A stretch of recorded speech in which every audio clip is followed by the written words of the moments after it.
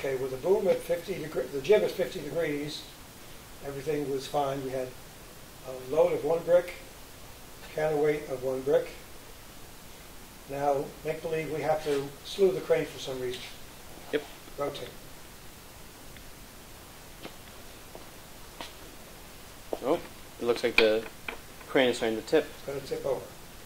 So we'll run the numbers, but first throw another brick on the counterweight platform. Otherwise, I'll just keep tipping over. Right. There we go. Quick test, just make sure it's still good. Yep, there we go. Okay. So, kind of odd. You would assume that because it didn't tip over before, it shouldn't tip over now.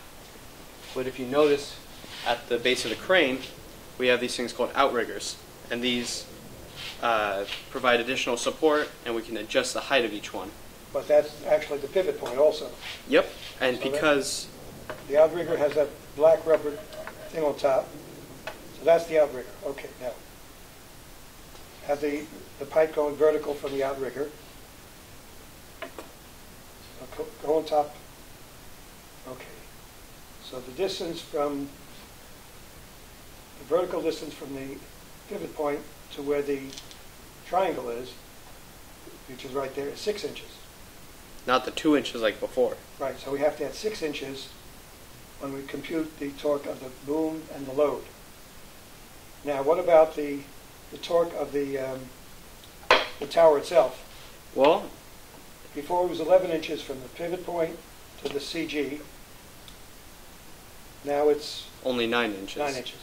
and from the center of gravity of the counterweight to the pivot point, instead of being 30 inches, it's now 26.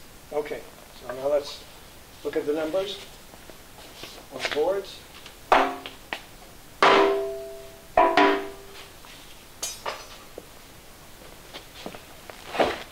So, like last time, we have a lot of the same principles here. Torque is weight times distance, and we'll take the same, this time 9 inches instead of 11. Same weight, weight didn't change. Same thing for the brick. The brick didn't change weight, but the distance did change from 30 inches down to 26 because of those outriggers. So now instead of the previous torque, it's now 308.25 inch pounds, and this one's only 122 inch pounds. Add those together, we get 430.25 inch pounds of torque. And before we had 517. Because the distance decreased, so did the torque. Good. And, So what was that, 400, 430, okay. yep, and now we want to calculate the torque for the load in the boom side. And this time, because it's 6 inches of difference, instead of just adding 2 inches to our 42 inches distance, now we have to add 6.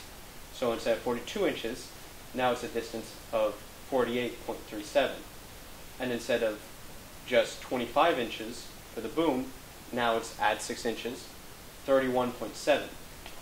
Weight times distance, weight times distance, you get 227.3 inch pounds of torque and 237.75 inch pounds of torque. Add those together, we get 465.05 inch pounds of torque.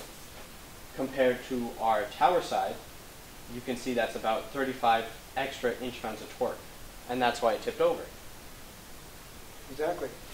So instead of the crane side having greater torque and not tipping over, well now the boom and the load side has a greater torque and does tip over.